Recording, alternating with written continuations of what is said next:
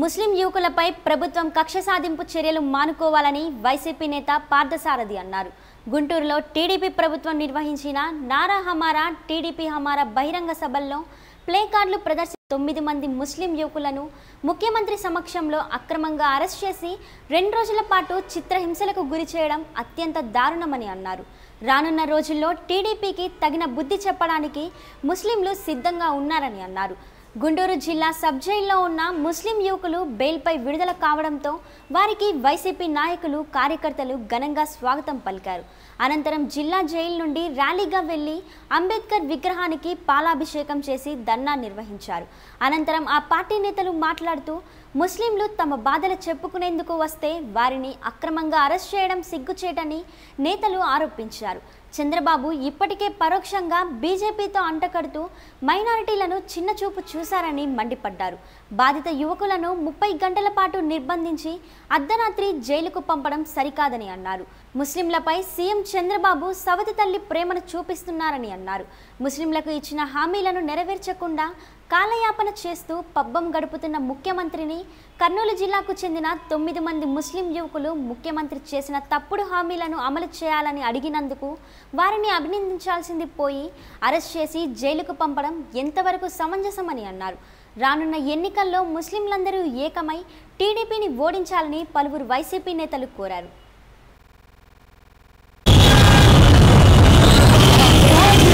Yeah.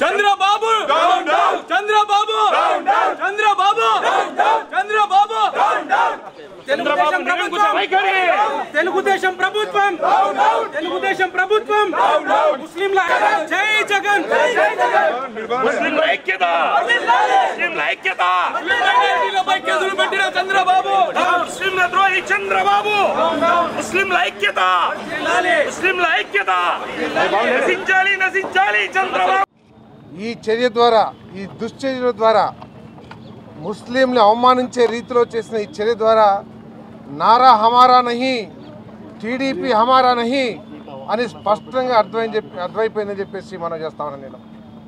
Chandrababu Naidu గారికి minority ముస్లిం సోదరులన్నా బీసీలన్నా ఎస్సీలన్నా బానిసలుగా భావిస్తున్నారు తప్పితే వాళ్ళకు కూడా కొన్ని హక్కులు ఉంటాయి వాళ్ళ పట్ల ప్రభుత్వానికి బాధ్యతలు ఉంటాయనే విషయాన్ని విస్మరించి వాళ్ళ హక్కుల కోసం ఎప్పుడు నోరెత్తినా కూడా ఎప్పుడు గలమెత్తినా కూడా వాళ్ళని అవమానించే రీతిలో బెదిరింపు ధోరణులతో కానీ లేదు ఇటువంటి దొంగ కేసులు తీవ్రమైన కేసులు పెట్టి వాళ్ళని మానసిక క్షోభకు గురి చేస్తాం కానీ ఆ వర్గాల్ని అవమానిస్తానికి కానీ ఈ చంద్రబాబు నాయుడు పూనుకుంటున్న విషయం ఇటీవల చూసాం మొన్నటికి మొన్న బీసీలు వెళితే తోలు తీస్తాను తోక కత్తిరిస్తానని చెప్పేసి తీవ్రమైన పదజాలంతో బెదిరించిన చంద్రబాబు నాయుడు.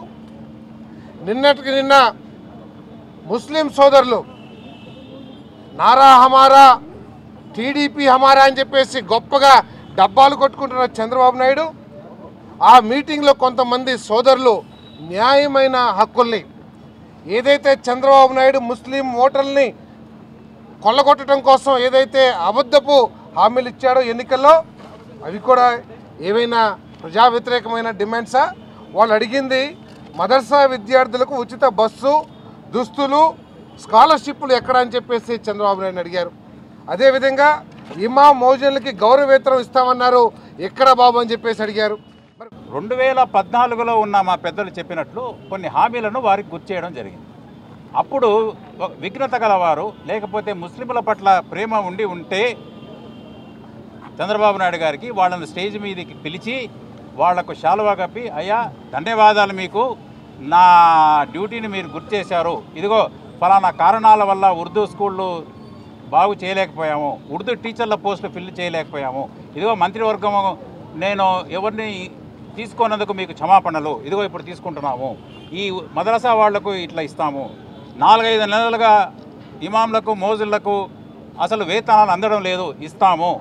తర్వాత పిల్లల విద్యకు నేను సహకరిస్తాను అని చెప్పి వాళ్ళను కూర్చోబెట్టి ఆదరించి పంపాల్సింది పోయి వాళ్ళను తీవ్రవాదులుగా లేకపోతే ఏదో బ్యాండ్ ఆర్గనైజేషన్ మావోయిస్టు కంటే హీనంగా ఉగ్రవాదులుగా చిత్రీకరించే ప్రయత్నం చేశారు.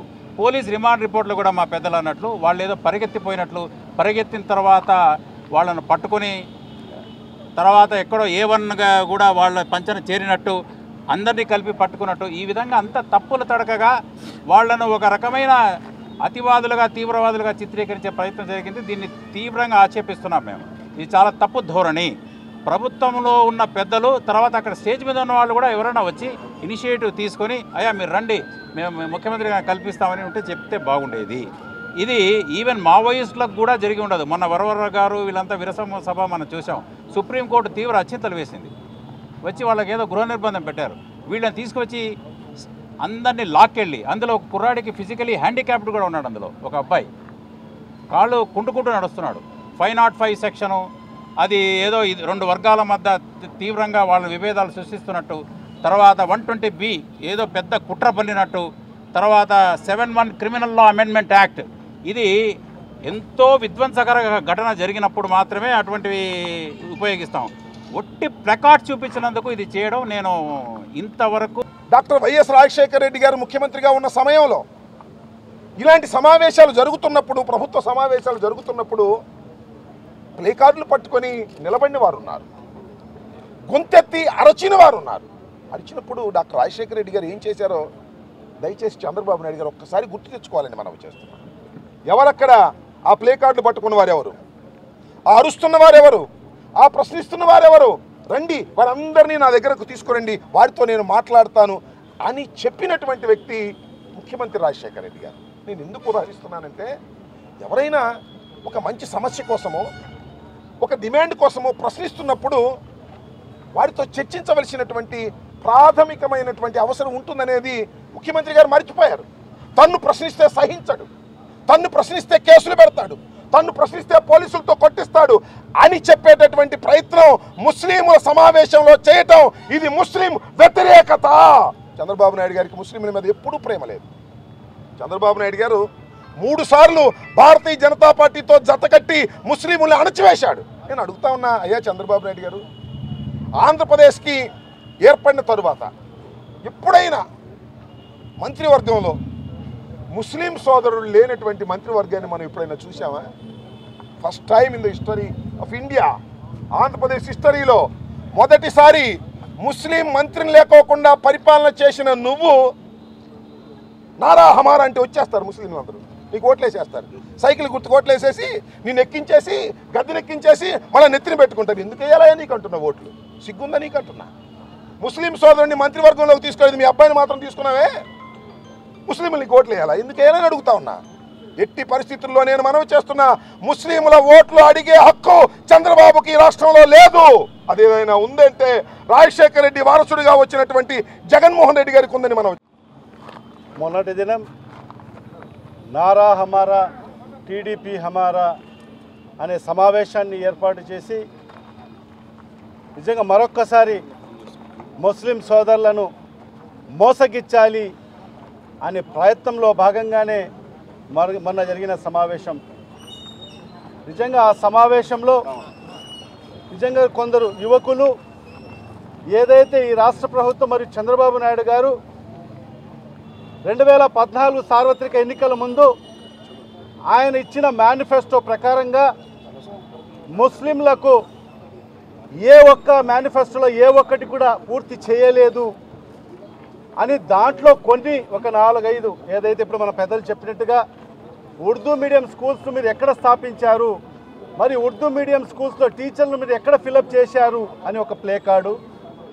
మరియు గత నాలుగేళ్ళుగా ముస్లింలకు మీరు మీ మంత్రి పదవిలో ఎక్కడ ప్రాతినిధ్యం కల్పించారు? అని మరొక ప్లే కార్డు. మరి అదే తరహాలో ఈ రాష్ట్రంలో ఉండే వక్బోర్డ్ ఆస్తులన్నీ కూడా మీరు ఎక్కడ కాపాడారు? అని మరొక ప్లే కార్డు. ఈ విధంగా ఏదైతే చంద్రబాబు నాయుడు గారు రెండు వేల పద్నాలుగులో ఆయన మేనిఫెస్టోలో పొందుపరిచిన హామీలను ఆయనకు గుర్తు చేయాలి అనే ఆలోచనలో భాగంగానే వాళ్ళు ప్లే కార్డును ప్రదర్శిస్తే నిజంగా వాళ్ళందరినీ కూడా దేశ ద్రోహుల కింద వాళ్ళ మీద కేసులు బనాయించి నిజంగా వాళ్ళని అరెస్ట్ చేయడం అంటే నిజంగా ముస్లింల మీద ఈ చంద్రబాబు నాయుడు గారికి మరియు తెలుగుదేశం ప్రభుత్వానికి ఏ పార్టీ ప్రేమానురాగాలు ఉన్నాయో అనేది ఈ రాష్ట్రంలో ఉండే ప్రతి ఒక్క ముస్లిం సోదరులు సోదరులందరూ కూడా గమనించాల్సిన అవసరం ఉంది. ఒక్కరోజు పాటు వీళ్ళకు తీసుకొని వచ్చేసి స్టేషన్లో పెట్టేసి ఇరవై నాలుగు గంటలు దాటిన తర్వాత చట్టానికి వ్యతిరేకంగా పోలీసులు చేసి ఆ తర్వాత రాత్రి ఒంటి గంటకు మెజిస్ట్రేట్ దగ్గర తీసుకెళ్ళి ఆ తర్వాత సబ్ జైలుకు తీసుకొచ్చే తీసుకొచ్చేసి సబ్ జైల్లో వేయడం జరిగింది. సబ్ జైల్లో పెట్టేసిన తర్వాత ఇక్కడ జరిగిన తతంగం అంతా మీకు తెలుసు. నేను ఒకటే తెలియజే తెలియాల్సిన అవసరం ఉంది. నారా హమారా టీడీపీ హమారా అని చెప్తున్నాడు చంద్రబాబు నాయుడు. నారా హమారా కాదు టీడీపీ హమారా కాదు. ముస్లింలందరూ మంచి చేసే ప్రభుత్వానికే సపోర్ట్ చేస్తారు. ఎవరైతే మంచి చేస్తారో ఎవరి రుణమైతే ముస్లింలకు ఉంటుందో ముస్లింలు వాళ్ళకు రుణపడి ఉంటారు. ఆ రుణాన్ని ఖచ్చితంగా వాళ్ళకు తీర్చే ప్రయత్నంలో ముస్లింలు ఉంటారని నేను తెలియజేస్తున్నాను. అదేవిధంగా ఇప్పుడు ఉన్న పరిస్థితుల్లో టీడీపీ ఎన్ని కుయుక్తులు పన్నినా ఈ నాలుగున్నర సంవత్సరాల్లో ముస్లింలకు చేసింది ఏమీ లేదు. మన రాజ్యాంగం ప్రకారమే ప్రతి ఒక్కరికి కూడా వాక్కు స్వాతంత్రం ఉందని చెప్పేసి మన రాజ్యాంగమే తెలియజేస్తుంది. సాక్షాత్తు పార్లమెంట్లో అలాగే అసెంబ్లీలో కూడా ప్లకార్డులు ప్రదర్శించి ప్రతి ఒక్కరు కూడా తమ నిరసనని తెలియజేశారు. అలాంటి మన రాజ్యాంగంలో అలాంటి మన దేశంలో ఈరోజు కేవలం ఒక ముస్లిం సభలో పెట్టి ముస్లింల కోసం పెట్టిన సభలో ప్లకార్డులు ప్రదర్శించారని చెప్పేసి వీళ్ళందరి మీద కేసులు పెట్టడం అనేది చాలా దుర్మార్గమైన విషయం. కేవలం వీళ్ళ భవిష్యత్తు నాశనం చేయడానికే ఈరోజు వీళ్ళ పైన ఒక తీవ్రవాద ముద్ర వేయడానికి ప్రయత్నిస్తున్నారు. నిజంగా మేము ఒకటే కోరుతున్నాం తెలుగుదేశం నాయకులందరికీ కూడా మీకు నిజంగా వీళ్ళపైన ప్రేమ ఉంటే తక్షణం మొత్తం కేసులు ఉన్నవన్నీ కూడా వీళ్ళపైన నుంచి తీసివేయాలి. ఎందుకంటే ఇక్కడ ఉన్న వాళ్ళందరూ కూడా ఇప్పుడే డిగ్రీ పూర్తి చేసిన వాళ్ళు ఉన్నారు ఉద్యోగస్తులు ఉన్నారు. అలాగే కొంతమంది నిరుద్యో నిరుద్యోగులు ఉన్నారు. ఇలాంటి వాళ్ళందరి భవిష్యత్తు నాశనం చేసిన వాళ్ళు అవుతారు. సో ఖచ్చితంగా మీరందరూ వీళ్ళపైన పెట్టిన కేసులన్నీ బేషరతుగా మాఫీ చేయాలని చెప్పేసి ఈ సందర్భంగా మేము తెలుగుదేశం ప్రభుత్వానికి అలాగే రాష్ట్ర ప్రభుత్వానికి సల్మాన్ నిగ్రియా నేను నంద్యాల వాసిని. నేను నంద్యాల వాసిని. మొన్న జరిగిన సీఎం సభలో సీఎం సభలో మేము ప్లే ప్లే కార్డ్ ఎత్తిన ఎత్తినందువలన ముస్లిం మైనార్టీ మైనార్టీల హక్కులను మేము అడిగినందువలన మమ్మల్ని రోడ్ల మీద ఈడ్చి కొట్టి అతి కిరాతకంగా ఈడ్చుకొని స్టేషన్కి తీసుకువెళ్ళి ఆ స్టేషన్ నుంచి వేరే స్టేషన్ వేరే స్టేషన్ నుంచి నల్లపాటు స్టేషన్ నల్లపాటు స్టేషన్ నుంచి ఓల్డ్ టౌన్ స్టేషన్ అన్ని స్టేషన్లను తిప్పి మమ్మల్ని లా సబ్ జైలుకి లాక్కొని రావడం జరిగింది. అక్కడ కేసులు పెట్టడం జరిగింది మా మీద. మేము ఏం చేసినామని అడిగినా కూడా ఏం చెప్పకుండా మా మీద కేసులు పెట్టడం జరిగింది. కేసులు పెట్టి మళ్ళీ మీరు ముస్లింలు రా మీరు లౌడల ముస్లింలు రా ఏం ఏం చేస్తారా మీరు? అది ఇది అని CI sir CI B Srinivasa Rao గారు ఏమంటే బూతులు తిట్టి ఎట్ట అంటే అట్ట కొట్టి మోకాళ్ళు మోకాళ్ళు చిప్పలు పగలగొట్టి ఎట్ట అంటే అంటే దారుణంగా చేసినారు సార్. దారుణంగా హింసించినారు. హింసించి డి వైఎస్ఆర్సీపీ వాళ్ళు వైఎస్ఆర్సీపీ వాళ్ళ పేర్లు చెప్పాలా మీరు? చెప్పకుంటే ఈ నుంచి బయటికి పోరు. నెక్స్ట్ రౌండ్ ఉంటుంది మీకు. నెక్స్ట్ రౌండ్లో చెప్పకపోతే మీరు ఈ నుంచి బయటికి పోలేరు. అది ఇది అని మొత్తం మమ్మల్ని హింసించడం జరిగింది sir. One town one town స్టేషన్లో మమ్మల్ని తీసుకెళ్ళి లాక్కెళ్ళి ఆడ నుంచి సబ్ జైలుకి తీసుకెళ్ళి వచ్చినారు సార్.